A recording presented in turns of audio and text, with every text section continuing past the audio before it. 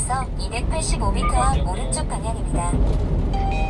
잠시 후 오른쪽 방향입니다. 지불되었습니다. 뒷좌석 안전띠를 착용하세요. 항상 아, 그래서 그걸 한다면도 계속 관리를 해야 되는데 피냄새가 진짜 쓰레기 합치랑 결이잖아요. 아. 다음 안내까지 계속